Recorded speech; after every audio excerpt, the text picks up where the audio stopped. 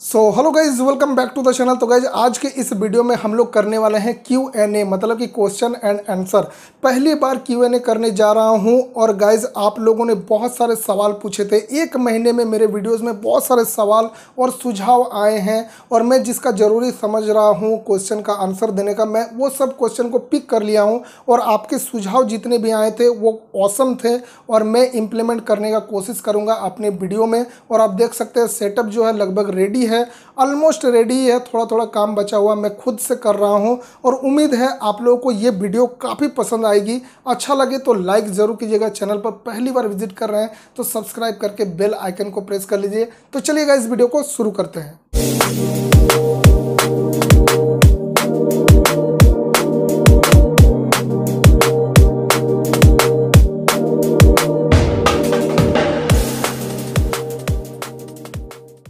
Guys सबसे पहला सवाल जो है विशाल खेत्रपाल जी पूछते हैं कि, सर अनबॉक्सिंग करने के बाद वो सब प्रोडक्ट का आप क्या करते हैं? तो विशाल खेत्रपाल जी, आपको पता नहीं होगा, शायद मेरा एक शॉप है जिसमें हम लोग मोबाइल फ़ोन और उसके एसेसरीज बेचते हैं।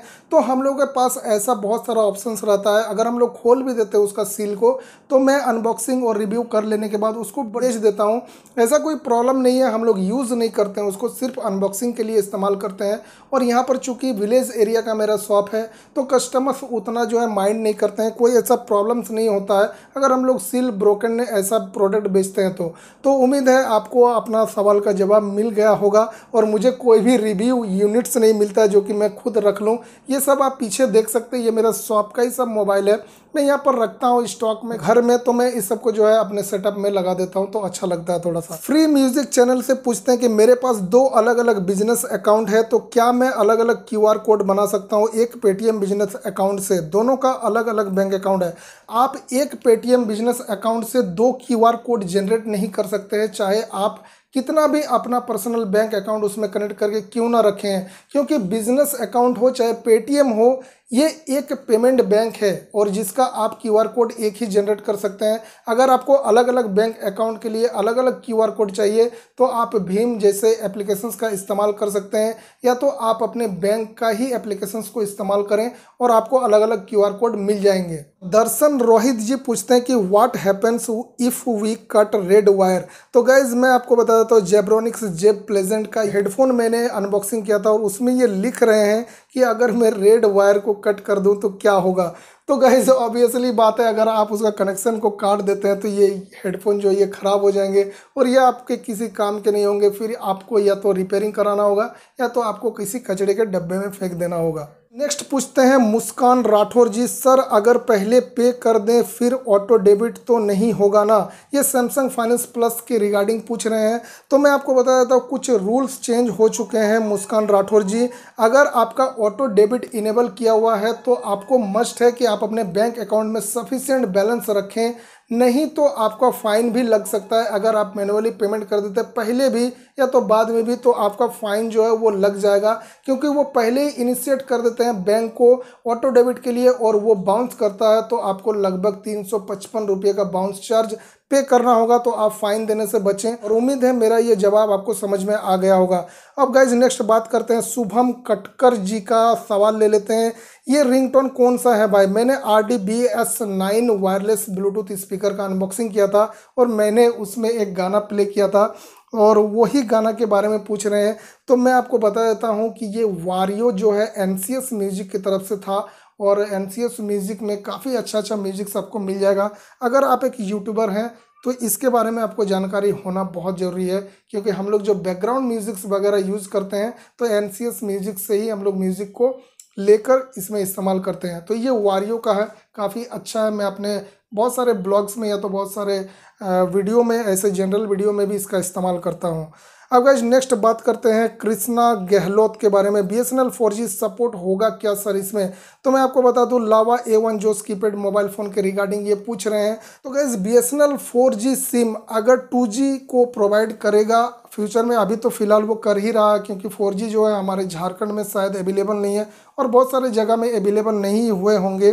तो अगर वो 2G प्रोवाइड करेंगे तो ये Lava A one Josh keypad mobile phone में भी काम करेगा। जैसे कि एयरटेल अभी भी करता है वोडाफोन आइडिया भी करता है। और अगर वो अपना 2G को ड्रॉप कर देते हैं और सिर्फ़ और सिर्फ़ 4G नेटवर्क पे ही वो काम करेंगे तो फिर आपके ये लावा के कीपैड फ़ोन बेकार हो जाएँगे और शायद बहुत सारे कीपैड फ़ोन में वो B S N L four G नहीं इस्तेमाल होगा। नेक्स्ट हम लोग बात करते हैं टेक नेक्स्ट लेवल के कमेंट का। तो गाइज़ ये एक बहुत बड़ा यूट्यूबर है क्योंकि इसका जो है टिक मार्क आ रहा है चैनल वेरिफिकेशन का। Indian number one review channel और ये लिखते हैं J B L Harman mini woosh three Bluetooth speaker unboxing के नीचे में। तो मैं आपको बता दूँ technical next level ji tech next level ji, मैं ऑनेस्ट रिव्यू करता हूँ और आज तक किसी भी ऐसे मेरे व्यूअर्स को जो है मैं मिसगाइड नहीं किया और कोई भी प्रोडक्ट जो अच्छा है, मैं उसको अच्छा बोलूँ, जो ख़राब है, उसको मैं ख़राब ही बोलूँ तो उम्मीद है आपका सवाल का भी जवाब मिल गया होगा और आप समझ रहे होंगे। नेक्स्ट सवाल ले लेते हैं डीजी टेक से। तो गाइज़ ये बोल रहे हैं कि your channel is very good have bin making video like this तो गाइज़ मैं एक किम्बल परचेज करने जा रहा था। आप लोग वीडियो को शायद देखे होंगे। वो वीडियो इन भाई साहब को बहुत अच्छा लगा और ये बोलते हैं कि आप इसी तरह का वीडियो बनाया कीजिए। तो मैं आपको बता दूँ कि मैं जब अपने सेटअप पे वीडियो बनाता हूँ तो उस तरह का वीडियोज़ नहीं बन पाएगा क्योंकि यहाँ पर एक प्रोफेशनल अनबॉक्सिंग करने का रहता है और मैं जो है इतना एनिमेशंस वगैरह इसमें नहीं डाल सकता। नेक्स्ट कमेंट ले लेते हैं एहसान स्टार का। ये पूछ रहे हैं कि वीवो वी नाइनटीन और वी ट्वेंटी में से कौन सा अच्छा है? तो मैं आपको बता दूँ भाई साहब कि ये दोनों ही मोबाइल फ़ोन अपने जगह में अच्छे हैं। और इन दोनों ही मोबाइल फ़ोन का प्रोसेसर और इंटरनल मेमोरी रैम वगैरह सब कुछ सेम है। सिर्फ़ कैमरा स्पेक्स को थोड़ा सा चेंज कर दिया गया है। आप अगर वीवो वी नाइनटीन लेते हैं तो फ्रंट में आपको डुबल कैमरा मिलता है, जो कि काफ़ी अच्छा आउटपुट रिज़ल्ट देती है। ये वीडियो जो है वीवो वी नाइनटीन से ही रिकॉर्ड हो रहा। और आप लोग मुझे कॉमेंट करके बताइए इसका क्वालिटी कैसा है। और वी ट्वेंटी में आपको एक सिंगल कैमरा मिलता है 44 मेगापिक्सल का, वो भी काफ़ी अच्छा आउटपुट रिज़ल्ट देती है। लगभग पच्चीस हज़ार रुपये का वी ट्वेंटी है और वी नाइनटीन का अभी थोड़ा सा प्राइस ड्रॉप हो गया है। लेकिन वी नाइनटीन भी मुझे काफ़ी अच्छा लगा लुक वाइज काफ़ी अच्छा है। बैटरी जो है वी ट्वेंटी से अच्छा बैकअप्स देती है। चार हज़ार मिली एम्पेयर्स की बैटरी है वी ट्वेंटी में और डिज़ाइन थोड़ा वी ट्वेंटी का मुझे अच्छा लगा तो आप दोनों ही मोबाइल फ़ोन में से किसी को परचेज़ कर सकते हैं। दोनों का लगभग लगभग ऑलमोस्ट स्पेक्स सेम ही है और कैमरा क्वालिटी भी मुझे काफ़ी अच्छा लगता है। अब गाइज़ नेक्स्ट बात करते हैं शुभम गौतम जी का कमेंट का और ये बोल रहे हैं कि, सर, मैंने आज ही पेटीएम से अपने ईएमआई पेड कर दिया हूँ डीएमआई फाइनेंस का और ये अपडेट नहीं हो रहा, दो दिन हो गया। तो मैं आपको बता दूँ गौतम जी, अगर आपका ऑटो डेबिट इनेबल किया हुआ है तो आपके बैंक को जो है वो इनिशिएट कर देते हैं मतलब कि रिक्वेस्ट में डाल देते हैं ऑटो डेबिट के लिए। और अगर आप इसको पहले ही पेड कर देते हैं तो गाइज़ जो ऑटो डेबिट के लिए बैंक को रिक्वेस्ट किया गया था, जब तक वो कैंसिल नहीं होगा तो आपका ये मैनुअली पेमेंट जो है अपडेट नहीं होगा और आपके डीएमआई फाइनेंस के एप्लीकेशन में ये शो नहीं करेंगे। तो गैज़ उम्मीद है कि सभी सवाल का जवाब आप लोगों को सटीक मिल गया होगा और आगे भी आप लोग इसी तरह का सवाल करते रहें, सुझाव हमें देते रहें। मैं आगे भी आपके सवालों का जवाब देता रहूँगा तो उम्मीद है ये वीडियो काफ़ी अच्छा लगा तो लाइक ज़रूर कर दें। चैनल को सब्सक्राइब करके बेल आइकन को प्रेस कर दें। तो गाइज़ मिलते हैं नेक्स्ट वीडियो में, तब तक के लिए थैंक यू धन्यवाद।